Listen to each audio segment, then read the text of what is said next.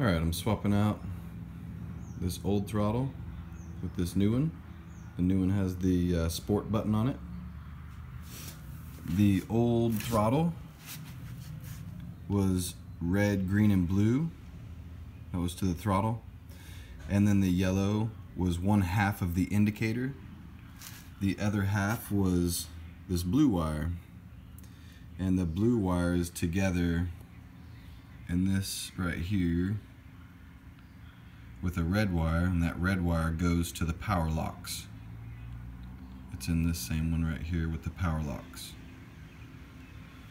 Okay so the new throttle is red blue and white. The sport mode is brown and black. And the indicator will be green on one side spliced with the blue the green and the blue are going to be on one side of the indicator and then the yellow is going to be on the other. And that'll be it